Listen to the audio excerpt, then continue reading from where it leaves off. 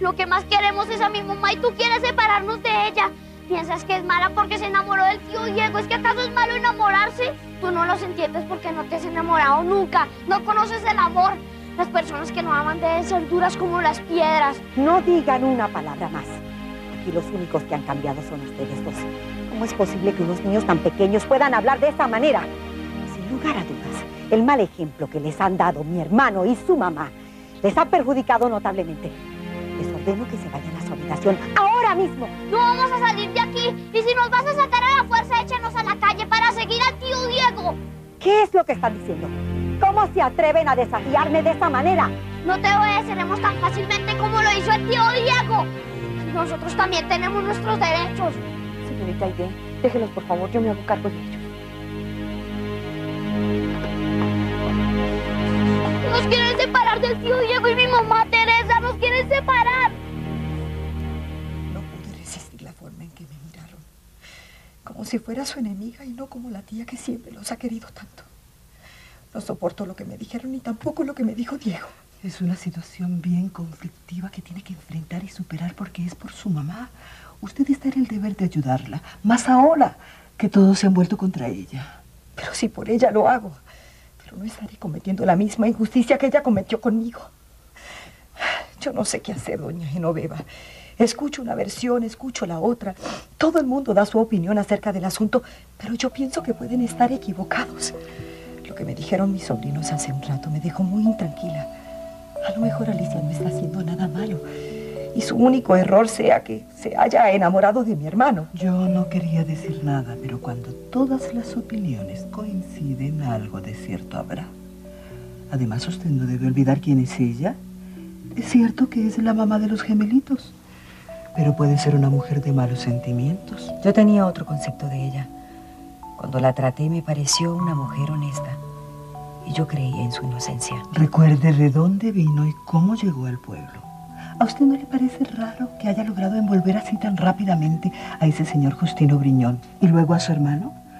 Esa señora tiene que ser tan calculadora y tan audaz para que haya logrado lo que ha conseguido tan rápidamente en unos cuantos meses.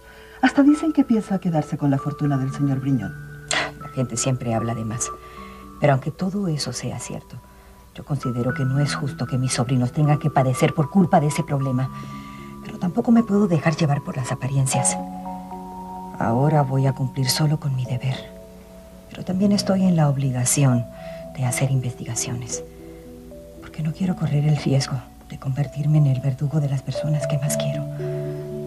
Eso sí que no me lo perdonaría nunca. ¿Sigue llorando, Iván? Sí. Yo también quisiera llorar, pero debemos recordar lo que nos dijo el tío Diego, que los machos no lloran. Yo no soy un macho, yo soy un niño.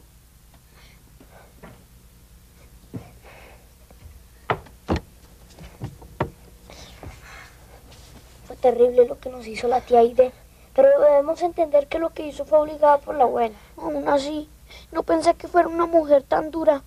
Yo que estaba tan ilusionado de volver a verla, no quisiera que hubiera vuelto nunca. Tampoco digas eso. Ella se preocupa por la salud de la abuela y trata de complacerla. Fíjate que ni siquiera duerme aquí en la casa porque no la ha perdonado.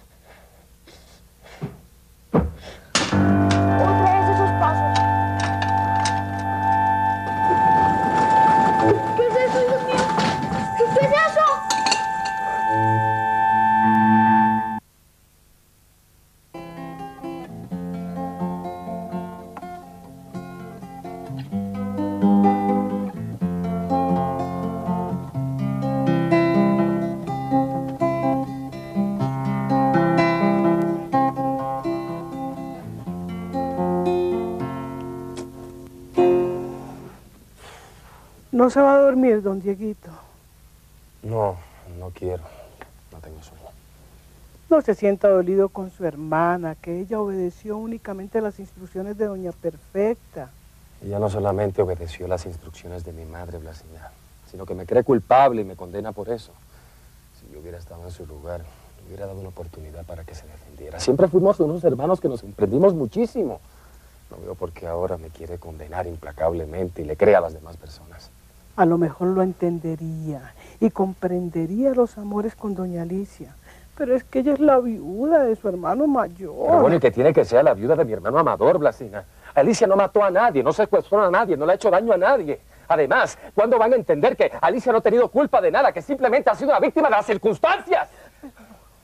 No, no, no, no se ponga así ni piense en nada porque le puede hacer daño. El pasado. Si no existiera ese pasado, ese fantasma, ese recuerdo horrible de mi hermano Amador. ¿Hasta cuándo nos va a seguir atormentando su recuerdo? ¿Hasta cuándo?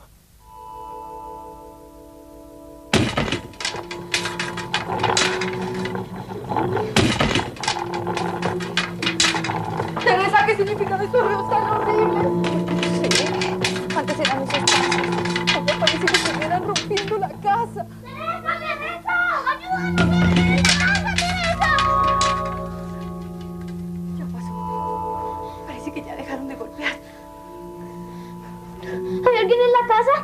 Don Diego habrá regresado. Ojalá estuviera aquí para sentirnos acompañados y para que nos ayudara. Si se trata de ladrones, ¿qué hacemos nosotras dos solas con este par de muchachitos? Vaya, saque la pistola que guardan en el comedor. Yo no agarro ese aparato, yo no sé ni siquiera cómo se maneja. Como en las películas, Teresa. Ve y agarra esa pistola. Con algo tenemos que defendernos. Bueno, ustedes dos esperan en su cuarto y nosotras vamos a averiguar. No nos separaremos de ti ni en sueños. Nosotros vamos con ustedes.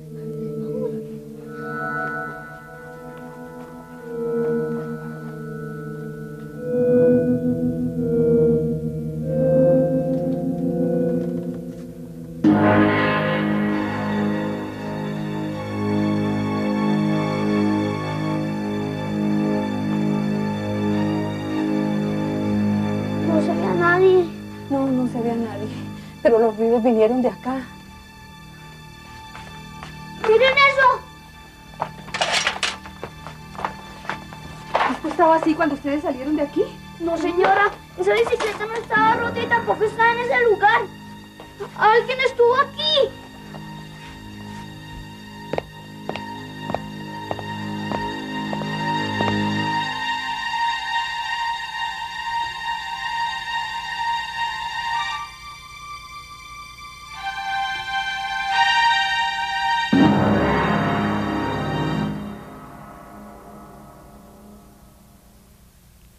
Otra vez aquí. Estás conmigo, lo sé.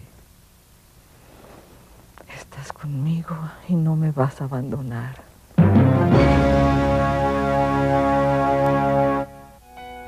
Señor, señor, pare, pare, pare, pare, por favor. Venga. ¡Aide!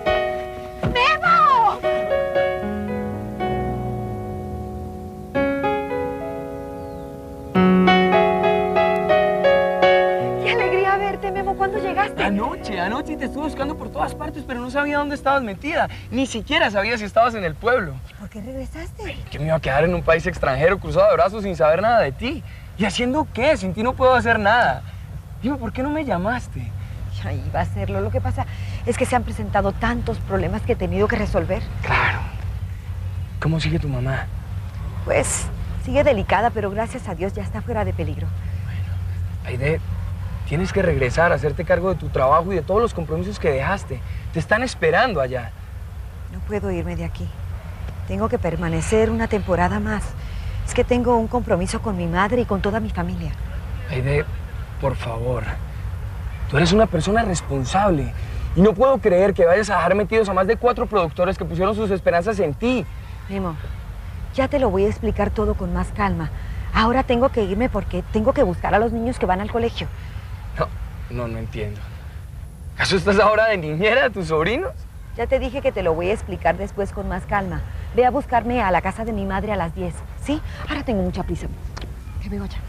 Si piensas que yo me fío completamente de Aide, estás muy equivocado, papá. Porque ella sigue siendo la misma antipática de siempre. ¿No viste cómo nos trató anoche? Hmm, Por nada nos despide a pesar de la amabilidad que le estamos demostrando. Mijita, quien no ha tenido clase jamás podrá conseguirla, aunque viaje y triunfe en el exterior, como le ha pasado a ella. No te mortifiques por sus desplantes, ya la conocemos. No debió rechazar la ayuda que yo le estaba ofreciendo. Es que convendría que yo me quedara en esa casa por la noche, pues, para, para vigilar a los gemelos y para no descuidar cualquier cosa que pueda suceder. Confiesa que no estás interesada en quedarte allí para vigilar a esos mocosos, sino porque todavía sigues interesada en ese traidor de Diego Blanco y esperas encontrarte con él a solas. ¿Cómo puedes decir eso, papá? Además, Diego ya no está en esa casa. Sí, pero puede volver en cualquier momento y por cualquier motivo. Y como tú estás tan obsesionada con él, esperas tropezártelo. Ay, mijita, si no te conociera. No, Teresa, no. Francamente no entiendo lo que me estás diciendo. ¿Que anoche escucharon pasos? ¿Pero pasos de quién? Ojalá lo supiera, señorita Aide. Es lo que viene ocurriendo desde hace semanas. Todos en esta casa los hemos escuchado. Son unos pasos extraños de alguien a quien no vemos. ¿Me estás dando a entender que en esta casa hay fantasmas? Yo jamás los he escuchado. Anoche fue peor, señorita Aide. Los niños y nosotras estuvimos muy asustados. Algo raro está pasando en el desván. ¿En el desván? ¿Es que acaso los ruidos vienen de allí? Pues los hemos escuchado como si vinieran de allí, pero no estamos muy seguros. Nunca me gustó ese lugar. Desde niña siempre le tuve mucho miedo por culpa de Amador. Señorita Aide, antes de que se vaya a llevar a los niños al colegio, quiero mostrarle algo. Te digo que no me obligues a entrar a ese lugar porque no me gusta. Señorita Aide, si usted se va a hacer cargo de esta casa, está en la obligación de saber todo lo que está pasando. Yo quiero que usted lo vea porque es algo muy extraño. Venga conmigo, por favor.